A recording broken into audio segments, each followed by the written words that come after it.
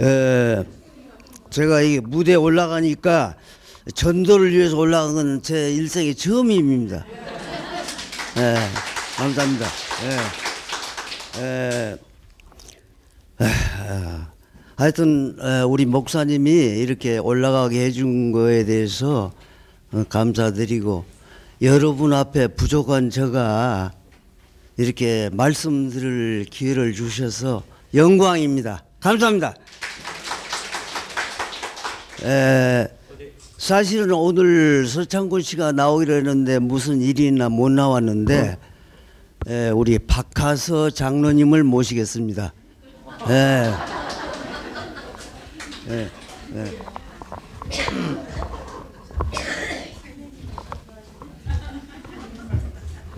어서 오십시오. 예. 예. 앉으세요. 네.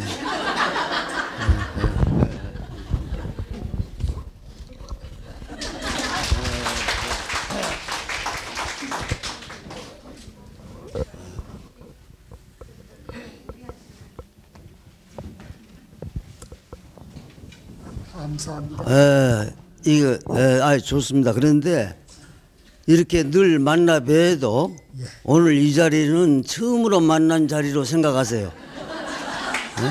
감사합니다. 예. 영광입니다. 아, 그래요? 감사합니다.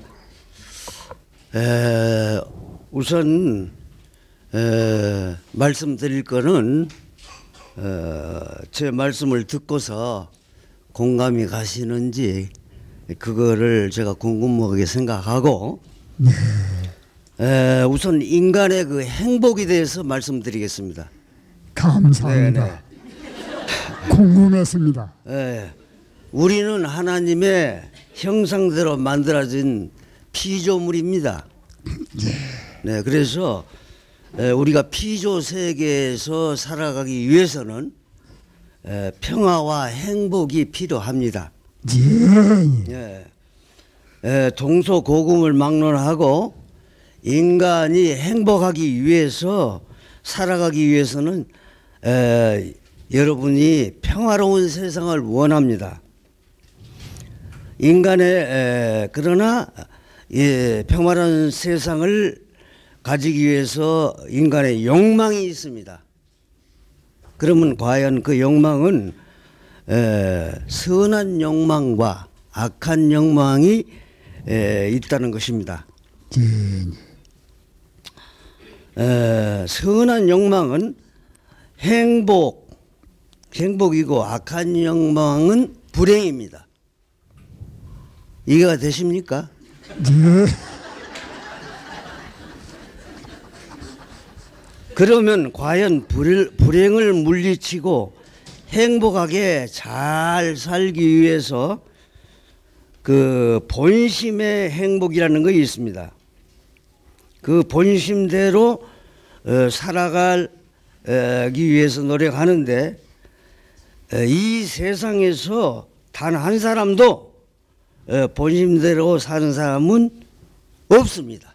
맞죠? 예, 맞습니까? 어, 조금 그래도 어떻게 에, 막 기독교 정신을 가지셨네요. 예, 예, 예. 에,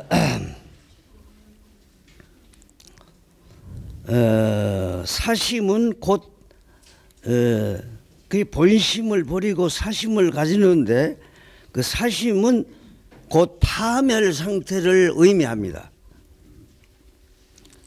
즉 파멸은 타락이 오고 맙니다.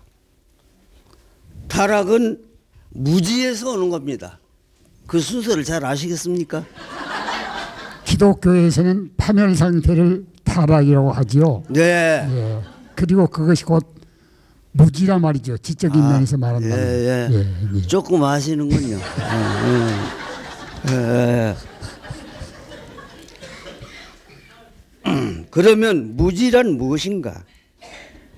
무지라는 거 이제 이 근본 원인인데, 즉 인간은 어디서 와서 어떻게 살며 에, 우리가 사후에 어디, 어떻게 되는가?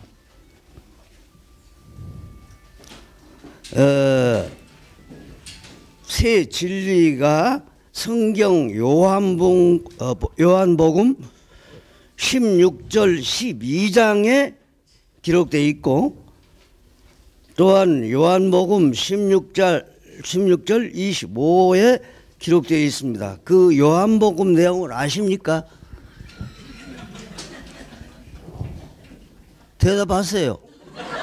좀 압니다. 아 그래요? 예, 예. 알면은 에, 지금부터 요한복음 16장 12절을 한번 해보십시오. 내가 아직도 너희에게 이를 것이 많으나 지금은 너희가 감당치 못하리라. 진리의 성령이 오시면 그가 너희를 모든 진리 가운데로 인도하시니라고 기록되어 있고 또 25절까지 말씀드리자면 네. 이것을 너희에게 비사로 일렀거니와. 때가 다시 비사로 이르지 않고 아버지에 대한 것을 밝히 이르리라고 하셨습니다. 아 조금 아시는군요.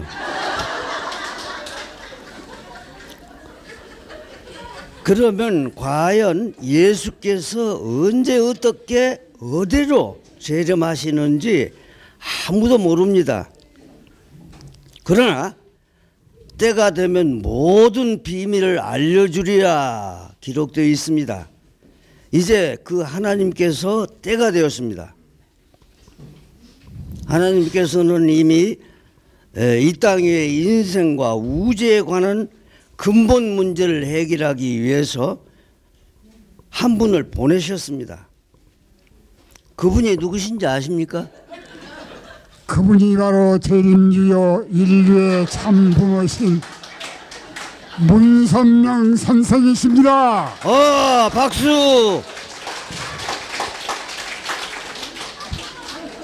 그 다행히 잘 모셨습니다.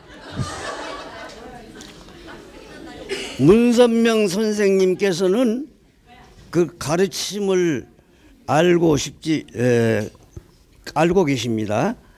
따라서 에, 여기 천복궁 교회에서 천복센터에서는 매주 금요일 오후 8시 새 말씀 올리 세미나가 있습니다. 아시고 계신죠? 감사합니다. 그러면 오십시오. 예, 여러분을 초대합니다. 예.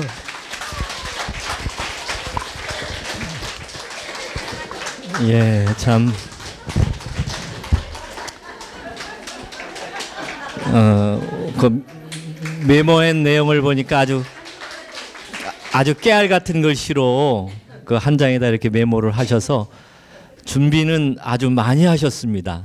근데 이제 아마 잘 안 눈에 안 들어오신 것 같아요.